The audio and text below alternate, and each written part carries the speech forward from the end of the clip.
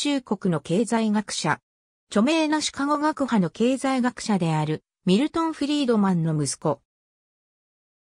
ハーバード大学卒業後、シカゴ大学で物理学の博士号を取るが、アナルコキャピタリズムの古典、自由のためのメカニズムを1973年に出版、その後はジョージ・メイソン大学、シカゴ大学、UCLA を経て、サンタクララ大学法学部教授として、法と経済学を研究し続けている。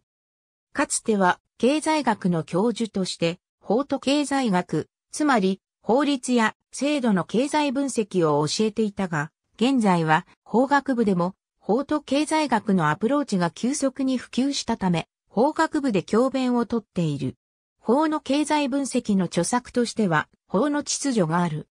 フリードマンのアナルコキャピタリズムは、基本的に帰結主義的であり、政府がない方が、社会構成が高い、つまり、物質的により豊かであるというものである。